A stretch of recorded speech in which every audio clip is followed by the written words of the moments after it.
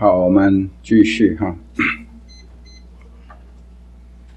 我们看讲义，修慧，那么开始进入修慧的程度哈。修慧在三有漏慧的修行过程中，是会与修慧啊，同样对于诸法起着分别抉择，只是前者虽也曾习定，未与定心相应。或者是以定性相应，到修会的阶段跟思会一样有分别抉择的这种状态，但是在思会的时候啊，可能还没有跟定心相应；到修会的时候啊，就要跟定心相应啊，才会起无漏会。思维又意作意。本是观想的别名，因为修定未成，不与定心相应啊，还是一种善心观，所以称为思慧。如定心成熟，能够在定中观察抉择诸法实相，即成修慧。我们还没有在跟定心相应以前呐，分别抉择啊。只是思会的过程，慢慢的，我们这个心啊，能凝定下来，啊，跟定相应啦，这个才是真正的修会。心能安住一境，无论是世俗的现象，或者是圣意的地理呀，作为直相，直相现前，对于诸法境界啊，心地虽即明了。但并非观会，而是指一定应有的心境。这里就在提醒我们啊，我们心安住在一个境界里面啊，不管是世俗的现象，或者是圣意的地理都好，安住一处。好，这个慢慢慢慢心会定下来，这个是直向，直习的直啊。当你心直起下来的时候，对世间一切万法也是很清楚、很明了的，啊！但是这个时候还不是观会，啊，只是跟定、跟直有相应的一种心境而已。这个叫直嘛。一般来讲，啊，修直再修观，所以叫直观相双运嘛。这个是直的状态。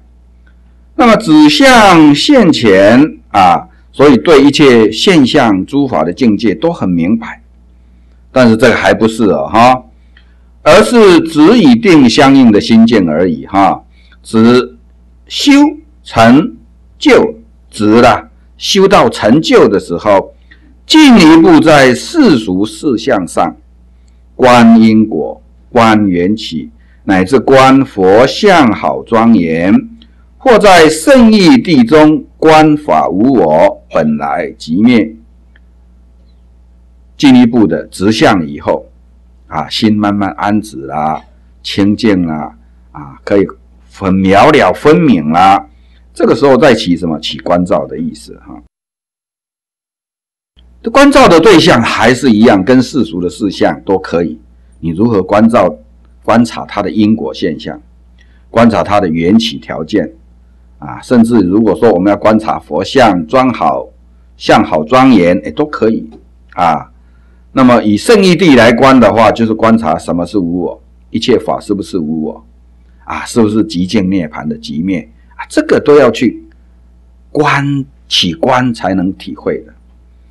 这不但心地极其啊极尽明了，而且能够于明极的心境中啊。如实观察、抉择、体会的诸法实相，所以心到一种宁静、一种非常清净的状态啊，并不是那个就是了，而是在那种状态中起观照。那个时候的观照啊非常的维系呀，都看得到啊。那个时候要关照、要抉择，重要是在什么实相的问题。空性的问题了，是不是极静？是不是涅槃？重点是在实相的关照。使镜子中起观照，即是修观的成就。所以，我们一般来讲啊，善心观呢，我们平常很善善的啊，心还是烦恼相很多的。你要关照就不够深入，不够维系。所以，我们慢慢慢慢那个心的烦烦乱呐，止息下来，心呢会比较清净，会很宁静，关照的会很维系，稍微心里起心动念都看得很清楚。这个时候起观呢，啊，就是观察，最好是胜意观呐，是不是无我？是不是法法刹那不住？啊，是不是无常？是不是真正的归于灭？啊，这个灭的法性是什么？哎，这个时候的关照就很清楚。所以一定要跟定跟止相应的这种关照啊，才是真正的修观啊，成就啊。单是世，单是缘世俗相啊，获得定心成就，并不能去向正悟。这句话很重要。如果我们只是跟外在的一切啊，跟跟外面的尘相处的这一种所谓世俗相，那么定心慢慢慢慢哎静下来了。导师就提醒我们，这种只是定跟静哦，这个不能去向正悟哦，必须要进一步观察一切法无我，毕竟空寂哦，这个才是体证到法性哦。才可从有漏修慧引发无漏的现证慧，所以真正体证的是什么？是法性啊，是空寂性啊。要注意了，这个才是进一步真正的体会，不是在身心的安静定宁静的那种定力啊，不是啊。修慧虽不能直接取称取证，但却见到达正悟的必经阶段。你可以体会到那种宁静，啊，那一种清净，这个是过程，必须要透过这个过程，无自性分无分别的慧观呢，能够降伏自心烦恼，引发现证智慧。无自性无分别的慧观，这个时候起的慧观呢，因为心已经宁静了，不会。起起落落啊，所以跟我们上课现在一直学的缘起正见是什么？这个时候真正起的关照是无分别的，是无自性的，是如如的啊，能够降伏自心烦恼，引发正智慧，这个时候才能真正的产生真正的智慧。所以，在有为的关照中，到进入无为的关照这个过程呢，大家也要明白，什么是无为的关照，就是无自性的无分别的关照。啊，将来我们在禅修的时候啊，教你们如实关照，其实重点就是这个。啊，我只是先点一下，有为的对治法，要了解实相是很难的。如何最后能够体会到无无自性、无分别的慧观，这个是很重要，这个也要有方法。所以我一直鼓励大家说：，我们今天不是说办禅修啊，来啊，我们就开悟了，就一定解脱了，不一定。但是如果你们今天连方法都不懂，关照的内容真相都不懂，那你学了一大堆，还是用不上。什么是无分别、无自性、无分别的慧观？这个就不是一般人随便都懂的啊！我们要教的就是这个。那么，即使我们今天没有办法说啊，九天都有时间，最少三天也要参加一下，把前面的方法理论都懂了，你回去才会用。我们今天不是为了要你们一定要来啊，是说如果你不学，那你就不会，用不上。即使学的人都不一定用得上，何况是不学啊？但是至少你要知道它的内容是什么，这个蛮重要的啊。从修会不断努力上进，真实无漏会现前现证慧成就，既能断烦恼、了生死、成就解脱功德。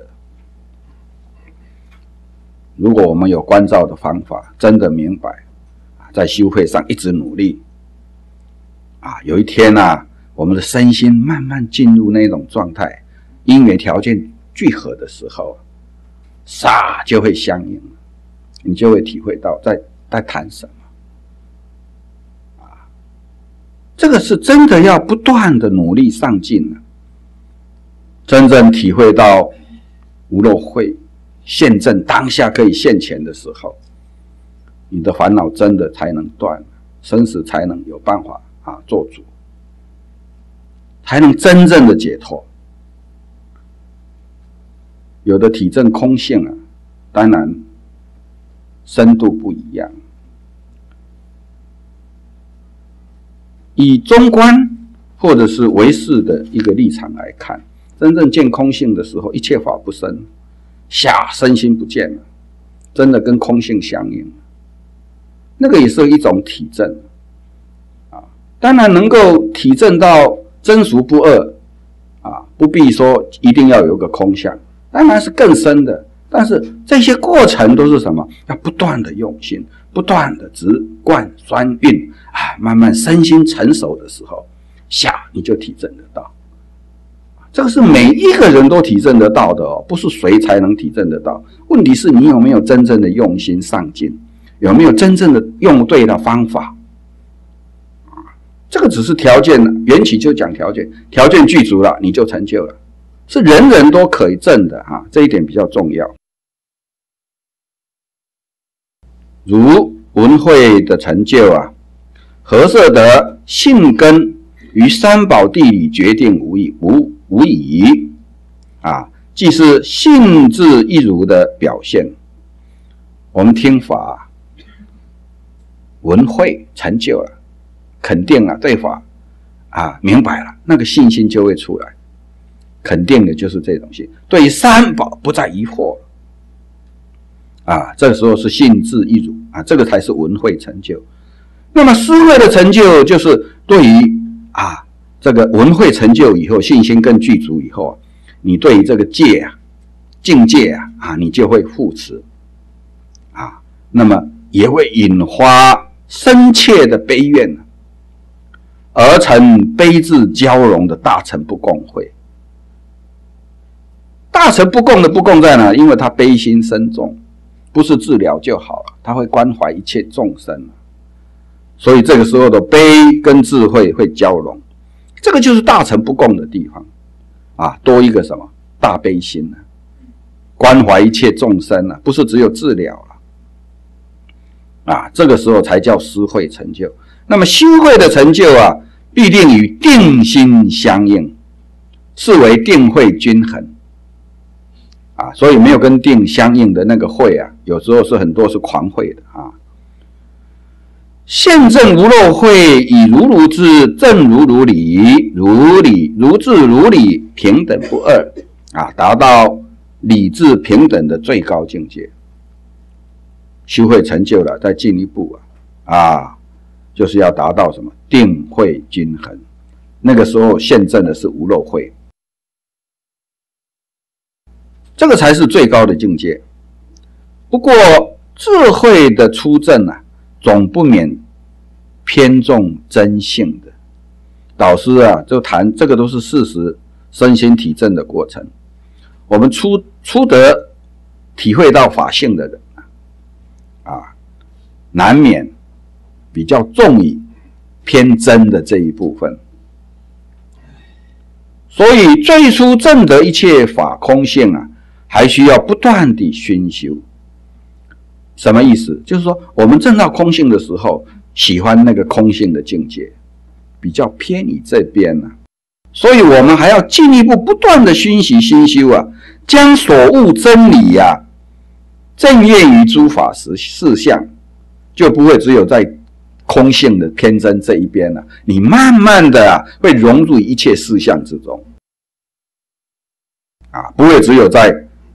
定的这一部分，或者是真的这一部分，啊，然后才能透过真理去了达世俗。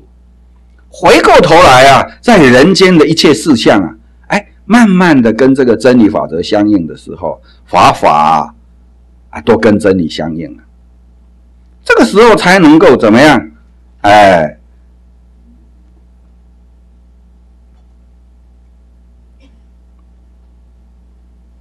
不执着，理细论，真俗圆融而无碍。如果我们只有偏真啊，那么常常会在超越世俗以外去住在那边了。如果慢慢的熏习，又回到人间的事事物物来，事事物之中啊，同样的融入这个真性啊，慢慢慢慢的对世俗的一切啊，你就不会执着，一切细论就会止息。这个时候啊，真跟俗啊没有矛盾了。在世俗中也是真理的显现了，那个时候就叫真俗圆融而无碍。所以，我们出刚刚悟到空性的时候啊，难免会有那一种啊，对于真理这一边的比较注重。但是，要进一步的慢慢又回到人间来，跟事事物物要融成一片啊，这个才能达到所谓的。啊，世俗跟真理的无碍，于是物理与事行啊，生活与理性啊，无往而不相应。这个时候，生活啊，就在真理之中啊，啊，一切的事项都是真理的显现啊。那么，你的起心动念、为人处事，一切啊，都是跟真理相应的。然菩萨发心，以教化众生为要行啊，必须具有广大的欲愿愿欲啊，偏学一切世出世间无边法门，种种善妙之事，进一步发菩萨心啊！你知道众生的苦，知道我们今天除了自己解决的事。看到众生那么苦，你会不忍，你发悲心啊，啊，行菩萨恨，教化众生变成你自动的一种责任。那么你就会发起怎么样了解世俗的一切，你还要学，因为世俗的一切你不学，你就不了解众生的需要，你也没有办法教化众生，所以那个时候呢，啊，就会发起广大的愿欲啊，偏邪一切世出世间一切的法门，他都要学。一切的知识他都会，那这样要来应广大众生的需要，他才有那个智慧。那我们就知道了，我们从理证入空性，还要回到事来啊，理事圆融，还要发起悲愿啊，利益一切众生。要利益这些众生，你必要具足那些智慧，那就要广学多闻。这些啊，都是修行很重要的观念啊。菩萨不但是道智，而且是道种智，这是一般所不太注意的。真正的大乘慧学啊，不但重视关键于生活的相应，理性于事项的统一啊，而且能够博通一切事学，容摄无边微妙善法。使一切世间学啊，无碍于出世的佛学，并成为佛法利益众生的善巧方便。到这个地方啊，我们就明白了，不但是自己要解脱啊，还要成佛道，利益一切众生。这些智慧啊，都要广学多闻的。所以，有的人认为我们只要用功就好了。所以常常修禅定、修观，不管世间事。所以我常常讲，真正了解佛法的人，不但不会厌弃人间哦，啊，会关怀人间；不但不会厌弃众生哦，更会关怀众生。生活不但不消极哦，会更积极的起而行。一个体证真理空性的人，无我、无人、无我了，还会执着吗？还会保护自己吗？这个必归要灭的，就像蜡烛在燃烧啊，它一定要烧尽的。你那个灯光在自己家里照明，跟照广天下的人有什么不同？为什么只有自己照明？明白了，让这个光更发光、更发热，让更多的人能有照到光明，不是更好吗？因为同样的燃烧，同样要烧尽。放在家里只是照你家里一个小小客厅，但是放到天下可以照明一切的众生，是不是这样子？因为它必归于灭。我们善巧的使用它，那还会消极吗？所以有我有自私的人才会消极自我保护，只有想到自己的利益。体证真理即灭法性的人，已经超越了我执我慢，怎么还会只有照顾自己需要自己的需要而已呢？啊，倒不如怎么样应用它？就像我常常跟这些同参讲，我知道。我一定要死的，啊，可能很快，可能还有一点时间，但是不管他一定会死。剩下的生命，你要用来在自己在那边安乐自在享福就好了，还是用在利益一切众生？同样要死哦，怎么样善用剩下来的生命而已。但是如果我们今天能见法，能以菩萨的愿力，我们会安住自己享福就好，消极吗？绝对不可能的。真正体会法性的人，怎么可能他不会再自私？自私是因为还有我啊！所以我们看到这里就知道了，真正行菩萨道，我们要更多的时间，更来广学多闻，怎么样来利益众生？什么样的人需要什么？他的苦在哪里？他的问题出在哪里？我们怎么样更了解众生的需要？用什么东西来给众生，让他能解脱？我们一心一意要学的是这个，怎么会时间会浪费？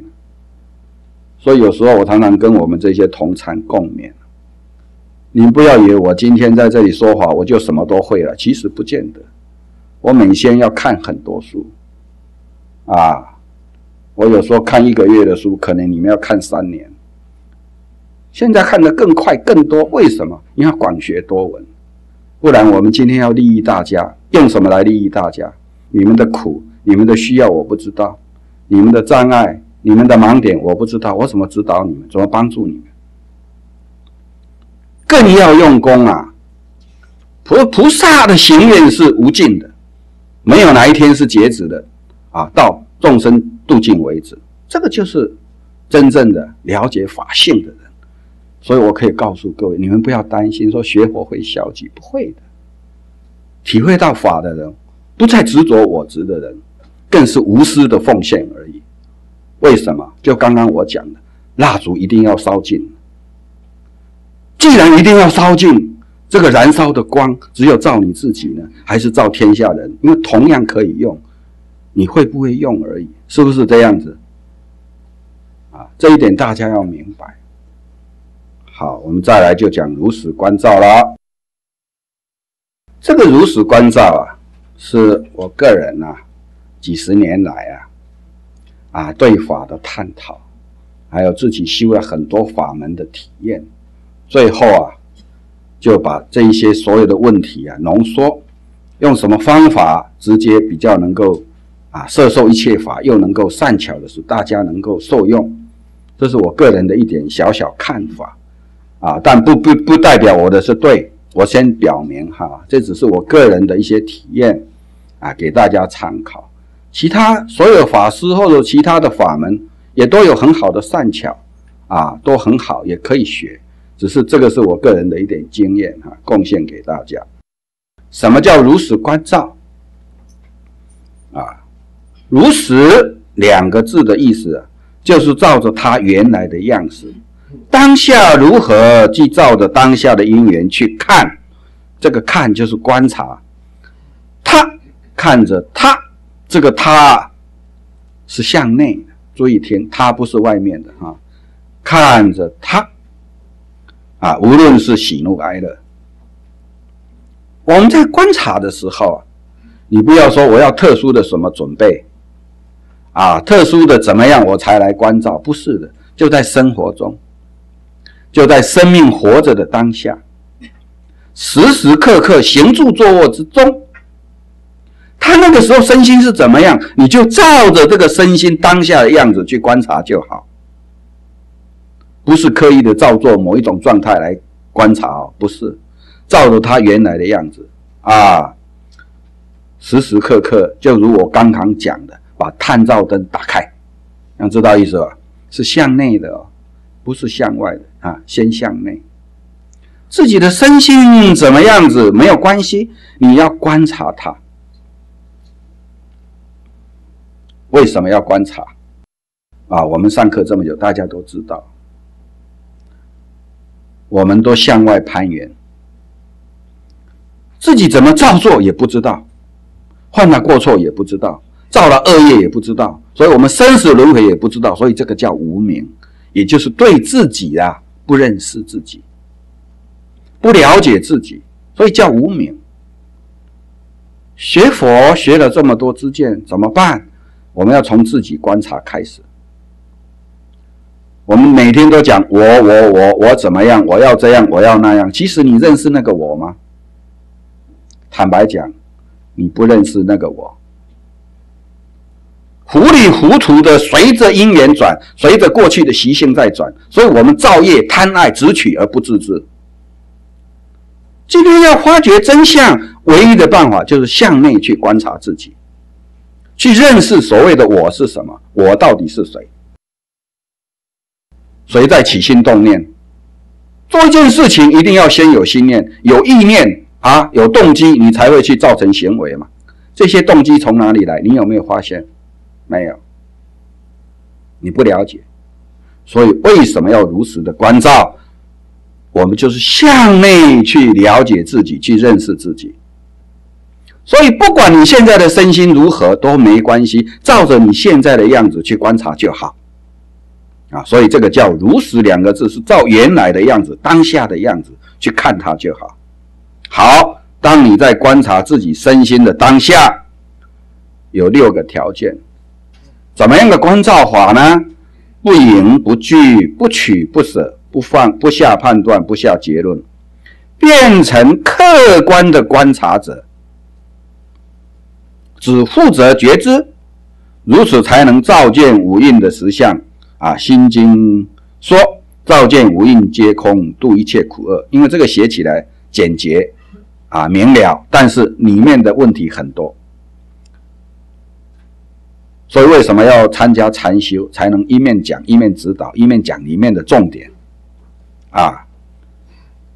注意，大家没有来。学禅观的也没关系，这里要注意听啊！我们在观察自己的，不管自己身心起什么变化，发现什么现象，你都要保持一种不迎不拒。什么叫迎呢？喜欢你就会接受它啊！我看到了什么很喜欢，就是相应，相应就是赢啊。拒讨厌呢？哎呀，这个不好，哎，起心呢抗拒，都不需要这样的。不管他发现内在是什么状态，是好的，是坏的，包括起恶念、起邪念、起什么念都没关系。发现了，只是发现，不要赢，也不要拒，不要取，也不要舍，跟赢拒是一样的。取就是什么样？接受、欢喜、摄受；拒啊，舍就是不要放下，都不需要这样子。不然就是什么呢？哦，这个原来是什么？哦，我知道了，原来这个是这样的，下结论，判断它是好了，是坏了，这个是对的，这个是错了，这个就是众生啊，一般的反应都是这样，惯性。为了要让你们脱离这个惯性，所以你一定要关照的当下，不要凝聚，不管发现什么现象，起让它起，灭让它灭，知道谁来谁去，不要去凝聚，不要去取舍。也不要下判断哦，这个我知道了，这个是好的，这个是坏的，不要判断，也不要结论，看只是看，这样变成什么？变成超越我们的惯性，超越我们的思维模式的习性，变成一个很客观的超越，超越出来的客观的观察者。我这样讲，你们。就可以明白什么叫如实观照。你好像俯到虚空来看自己，这样知道意思吧？比如说，我们坐太空船看地球，哎，就不一样了。我们在地球上啊，纷杂，声音烦乱，事项很烦乱。那个太空人在太空看到地球的时候，地球是非常美丽的。你有看到人在动吗？没有。你有看到一些繁杂吗？没有。你看到是宁静又美丽的一个地球。为什么？它没有在中间，它是在外面啊，距离的来看看这个世界，完全不一样。人家就讲一句话嘛：你到山里去。你没有办法发掘山的真相是为什么？因为你在山中，这样知道意思吧？但是如果你远远的看着山，那个山你就很清楚了，是不是这样的？我们也是一样哦。我们每天迷失在这个身心里面啊，在这个成语里面，我们不了解我们为什么会这样，为什么会那样都不清楚。现在你必须超越出来，变成很客观的观察自己。这个时候的身心。啊，你变成是你观察的对象，而你变成是一个很客观的。所以为什么说，当你在行住坐卧、待人处事之中，都要加上这个观察？这个观察是客观的，只负责观察、觉知，不负责什么左右判断啊，还有怎么样，还要去改变它、主宰它，这个都不行。你要变成一个很客观的人。你说负责觉知，不负责主宰跟分别跟判断跟改变，或者是要他这样要他那样都不行。好的你也只是看，坏的你也只是看，对的也只是看，错的也只是看，都没关系，都只是看。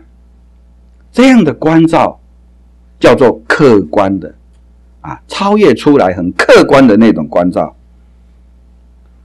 很重要哦。为什么？因为唯有这样子，你才看到你真相，看到你身心的问题。这个问题的发现呢，只是发现，不要干预。注意听啊，不要干预，这个才叫如实。这个是初步的。刚开始你要做到这一点是很困难的，不要看这个很简单哦。你要做到客观如实的关照，这要下功夫的。听起来简单哦。我告诉你，你试试看，你做不到，你一定会落入你的习性，落入你的判断，落入你过去的思维模式，所以你一直在陷阱中超越不出来。这个如实关照是要如何达到一种客观的关照，变成我在观察我，这样知道意思吧？很重要，这个是下手处，唯有透过这个方法，你才能看清真相。所以我们要知道，《般若心经》讲“照见五蕴皆空，度一切苦厄”。照见是如何照见的？很难照见哦，只有深般若能照见哦。我们今天上课建立般若的正见，缘起正见。好，我们在修行如何以客观的立场来观察，那个就没有主观意识了，不会用过去的惯性了啊。变成超越的、客观的，你慢慢的会发觉真相。发觉真相有两个层次，是一个我们实性的真相，一个是实性、实相，就超越这些颠倒执着的真相是什么？有两个层次，一个是世俗的，一个是圣意的。所以真正体会到诸法空相实相的时候，就灭一切苦了，就度一切苦厄，就解脱了。真的这样子吗？般若心经为证观自在菩萨行深般若波罗蜜多时，照见五蕴皆空，度一切苦厄，是不是这样的？照见五蕴皆空，就能度一切苦厄，这个是重点哦。那么，如何才能照见五蕴皆空？这个照见要怎么个照见法？这个就是师傅啊，几十年的心得。如何用一个如实观照的方法来照见，你们才知道如何才真正能照见。如果我们在惯性里面都在习性里面，都在情见贪婪里面、执着里面，你怎么能照见呢？怎么照还是颠倒？这样知道意思吧？唯有你如何慢慢的超越出来，以客观的来看清真相。有一天你看到了你内心的问题，你会哑然失笑。你了解真相的时候，才知道啊，有够糊涂。就是这一面糊涂，没有办法了解真相，生生世世轮回这么久，也许会笑，也许会哭。真的明白的时候，会注意啊，这个如实观照看起来简单哦，但是不容易哦。单单要做到一个客观的关照，你就知道那个习性有多重。你会发现哦，你一直落到习性回去啊，回去原点。惯性一直拉回去，你要做一个客观的观察者很难，你就知道了。单单这一点都要下功夫了，要做到如实两个字不容易。尤其是我们散乱心啊，事情一来就被外面引走了。所以为什么禅修很重要？放下一切，试试看，体验一下。我们在用功的过程中体验更深刻的时候，在平常才用得上。所以，不管是新学员、老学员，你每年，不管你体验多深，一定要有一个机会，不管是一次、两次参加禅修，啊，对你的体证修行啊是有很大帮助的。不然，我们落到习性中都不知道，在世俗里安逸啊，以为是的，那是很平凡的，那种觉醒是很肤浅的。哎，再来看，这是。直接契入法性空寂的观照法，所以如实观照它，我就讲有两个层次，一个是发现世俗的这一边的受用，你会发现什么？哎，可以善用它，可以不随境转啊，可以你暂时的对峙啊，种种的习性什么的苦难，但是这些还是世俗的啊，而真正的呢是要直接契入法性空寂。是直接要见性的，要是要见实相的，所以一般人绝对不会想到说，哈，人家修行要好困难，你用这个方法就要直接契入实相嘛。其实啊，你们试试看就知道了啊，这个不是自吹的，啊，所以对一般人来讲是很难了解的，怎么能直接契入实相？一般人认为那是不可能的。啊，所以我们要了解，必须先有法助智，否则只能产生对峙的功能，而无法达到见法的效应。今天为什么要上课？建立缘起正见，这个就建立法助智啊。有了这个知见法助智的正确的一个基础，你在观照中的时候，这个自然会相应，不用再起心动念。啊，所以《杂含经》说：“先得法助，后得涅盘”，就是此意。所以要参加我们禅修的人，外面我们不接受的原因，不是不慈悲，不是分门户，是因为他们没有建立法住智。你怎么用功，如数关照，阿天雷不会相应。但是今天如果上过课，建立了这些缘起正见法住智，你用这个方法来关照，就完全不一样了。啊，这一点就是这个原因。所以有人认为奇怪，我们一般人办禅修。外面参加越多越好啊！我们不是，我们不接受外面的人，为什么？不是不慈悲哦，是因为没有先建立前面的正见，这一种用功的方法变成只是在对峙了，没有办法达到什么契入实相的这个效应。这个也就是我观察，为什么南传的禅师他们也很了不起，境界也很好，但是为什么他们台湾来办，为什么效果也不一定马上有？大家没有。跟他学一些知见上的建立，一来就讲关照方法，大家就在那边搞啊，搞几年还是在境界中，不容易真正的超越出来。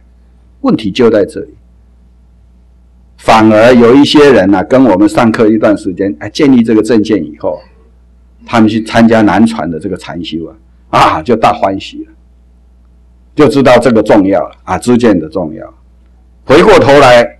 就会来找师傅啊！师傅，我现在才知道什么叫如实观照啊！如实观照的重要才能明白。所以学这个知见的人有难传的半禅修，我们不反对，知道吧？可以去经验啊，可以建立一些基础啊。但是回过头来，更能体会到我们大臣讲的直接契入法性空寂的重要在哪里。透过那个学习基础，反而要直接的契入，机会就更更可能了啊。所以我们不反对参加南传的禅修，这样知道意思吧？啊，根本上没有没有矛盾的，啊，只是有的是有次第，有的是直接想办法要契入。而我们今天建立缘起的正见，就是建立法住智，才能帮助大家直接契入涅槃极见啊，就是谈啊，先得法住，后得涅盘，就是这个次第。什么是法术智呢？啊，就是缘起的正见，唯有知缘起，才是真正的正见。也才能了知生死烦恼之因呢？因果的必然性，法的必归于灭，这些知见之确立啊，是得涅盘智的先决条件。所以上课听闻熏习，目的就是要建立缘起的正见啊，听闻思维抉择都是在此阶段。啊，缘起是甚深复甚深的，不要以为简单啊！上课那么久，大家都知道不容易的啊。这个就用一个比喻哈，缘起正见的重要，就如电脑的软体程式啊，影响电脑的功能啊。城市如果是正确的，功能不会不相应错误的知见无明啊，才带来贪嗔痴的烦恼。若知见是正确的。至于解脱的正道相应，可见正见的重要。观照是理论的实践，如实观照为什么要六个口诀？为了避免惯性的思维模式。大众依据的是过去的知识、经验的认知，都是主观的我见。超越主观而变成客观的关照，才能认清真相。啊，先作为纯粹的观察者，才有看清我的真相的可能。你必须是观察者，而不是造作者。那么，这个就是刚刚我讲的内容。为什么要今天做一个客观的观察者？为什么用如实关照，不迎不拒，不取不舍？原因就在这里。我们就是如何超越我们过去的惯性思维模式。我们都在运用过去的知识，在作为我们思想的准则。我们如何超越它，不受它控制，把我们拉进那个陷阱里面？如果过去的思维模式是对的，我们不会痛苦烦恼哦，我们不会生死哦，轮回哦，就是它根本就是有错的。我们今天如何认识一个真相？不要受过去的知识观念而影响。而随着我们现在学的正见，说要先得法治，就在这里。在过程中，你会发现惯性的威力，你会很容易落入想而不是看。所以，如实关照一个“看”字，很奥妙的。我们的思维模式都在惯性是什么？就是想，想东想西，想过去，想未来。你那个意识啊，像猴子攀援，其实那个攀援心是什么？都是想。注意听。但是我们从来不注意哦，我们真的每天都在想嘛。对你只要一关照，你就知道了。百分之九十九都在想。真正能够学习看着的关照，这个“照”字就是看，不容易。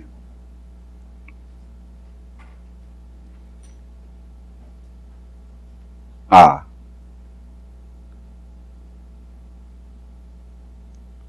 所以你会很容易落入想，而不是看着他啊。自己的身心当下，这个他是讲自己的内在哈。想跟看的作用完全不一样。想是落入过去与未来，而看只有当下，生命只有当下。修行人只能在此误入。这个就是要抉择看的重要性。为什么？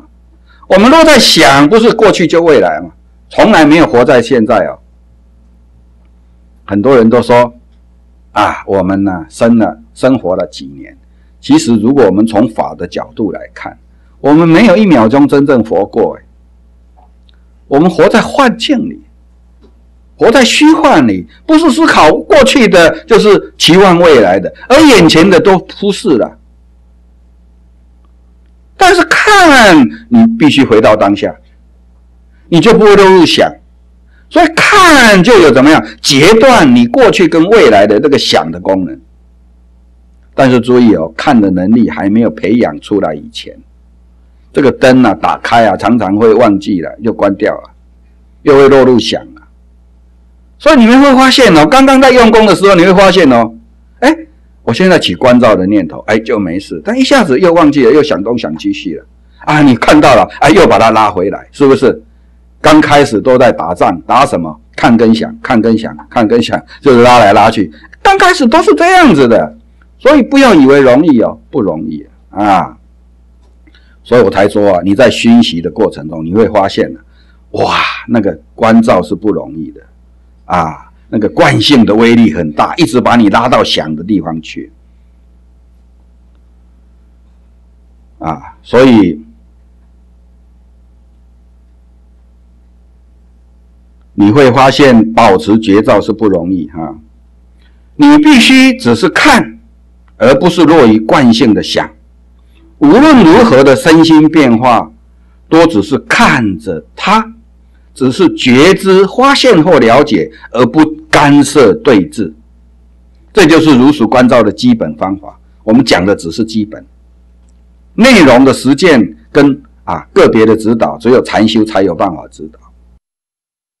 这个基本模式啊，一定要先学。即使你们今天没有升官。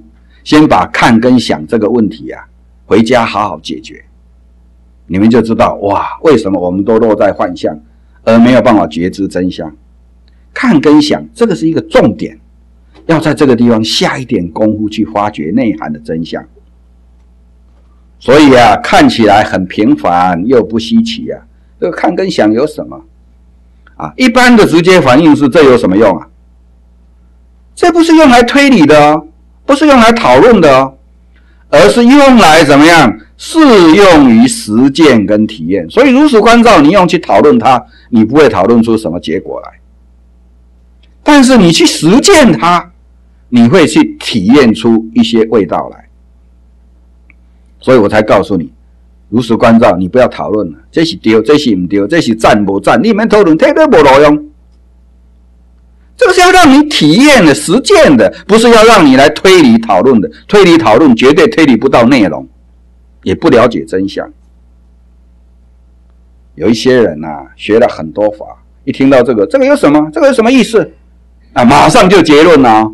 啊，这个就是下换换这个毛病啊。这个我懂，这个没什么。你从来没有去实践过，你没有去实验过，你凭什么说它没有什么？所以这个是很平凡的一个方法，看起来没什么。你试试看，你做得到吗？你单单一个看字都护持不住了，你还说它没什么？这个就是众生的习性啊，我慢的毛病，自以为是。其实今天学这个法，我们要如实，如实就是老实，试试看，好好的去实践啊，不要用理论想象一大堆，试试看你就知道了。啊，所以不是用来推论、讨论的、推理的啊，而是适用于实践体验。只有实践者才能体验它的奥妙。如果你尚未尝试，也不要太快下判断跟结论。意思就在这里。而且你真正是一个如实关照的实践者的话，你一定会发现很多问题，你从来没有发现过的一大堆。啊，只要你有体会。只要你有体会到某一个问题，那个时候可以来找我问啊，有问题可以谈，可以问。这个过程中啊，在慢你慢慢加以指导，那你就会越来越正确啊，越来啊越受用相应。后半段这些还没有实践的人，不管你听法听多久，不管你多么聪明智慧，还是一样体验不到的。所以如实关照非常重要的，看起来很简单，实践起来不容易呀。要深入到真正的剑法，当然要条件的啊。啊，不是随便泛泛的言给干管给干参，不是这样子，还要下功夫的。真正的如实关照，下功夫到什么程度？时时刻刻行住坐卧，活着就不离关照。这样，你要是不见法，我投给你。我这个头卖很久了，啊，卖不出去了，好，这里就讲，那么它有什么功效？一个以建立缘起正见的人呢，关照中本然的会起相应作用。也就是说，你在关照做到真正的看如实的进入那一种状态的时候，心能跟定相应的时候，我们学的缘起正见啊，会自然相应。你不用起心动念哦，哎，自然会相应啊，因为种子早就种进去了，是不是？啊，这个时候作用有两个层次，一个是较为浅的受用，就是对治功能。为什么？因为你在如实关照中，你一定会发现一个功能，在你如实关照的看的照见之下，喜怒哀乐的情绪当下执行。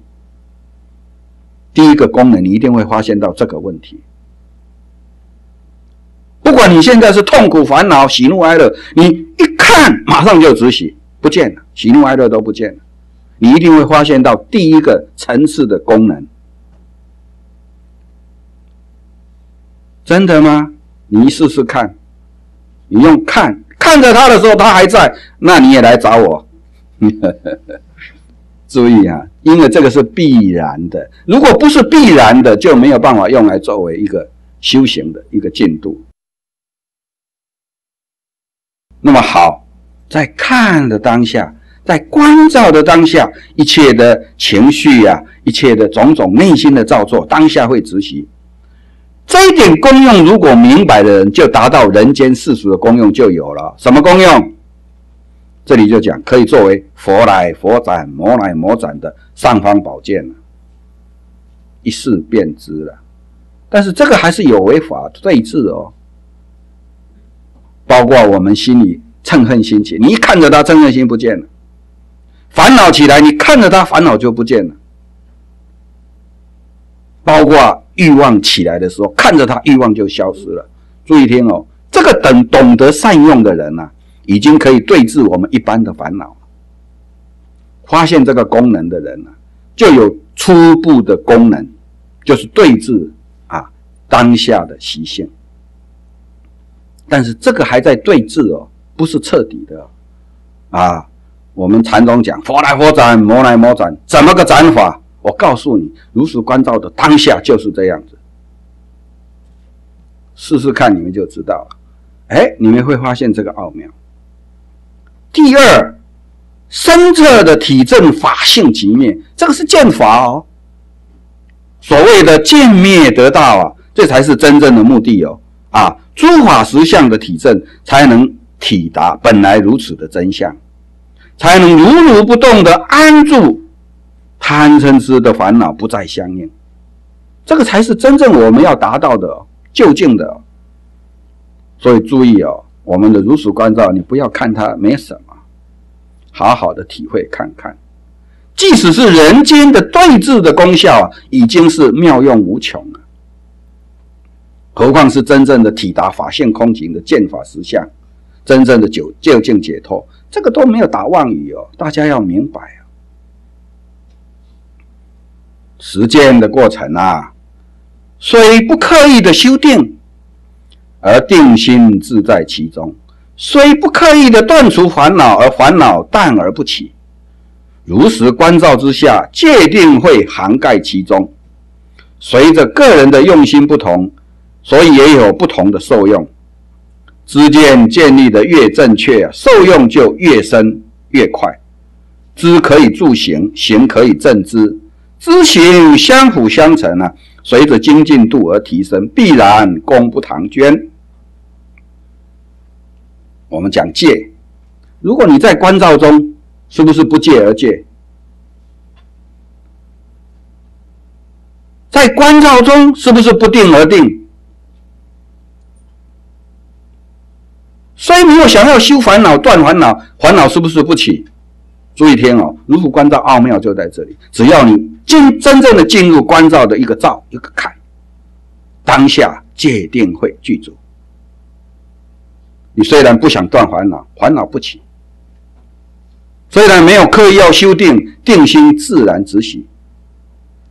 为什么？关照的当下，心是没有办法攀缘的，要注意。所以不要以为这个有什么，这个可以修到界定会的具足，所以要明白，看起来没什么。最重要的是下面啊，这不分出家在家，不分男女，不分贫贱，平等平等，在生命活着的当下，行住坐卧中，任何的因缘都能修验。也就是说，今天我们在家出家都一样。不管身心好坏，不管职业，不管身份，每一个人都能实践，每一个人都能够学习而体验，这一点是最可贵的。平等，平等，任何一个人都可以体验，都可以体会，都可以悟到，这就是气入三法印或一时相应的平凡的方法。平凡不平凡？就是这么一个看着，只要建立了我们的缘起正见，生活中一个看着，打开日光灯看着它，你会发现无限的巧妙，最后还能契入实相。所以是不是很平凡？这里有没有神奇鬼怪？这里有没有无无无无上的什么神奇奥妙、什么伟大的境界？有没有？没有，所以也没有神秘的感应。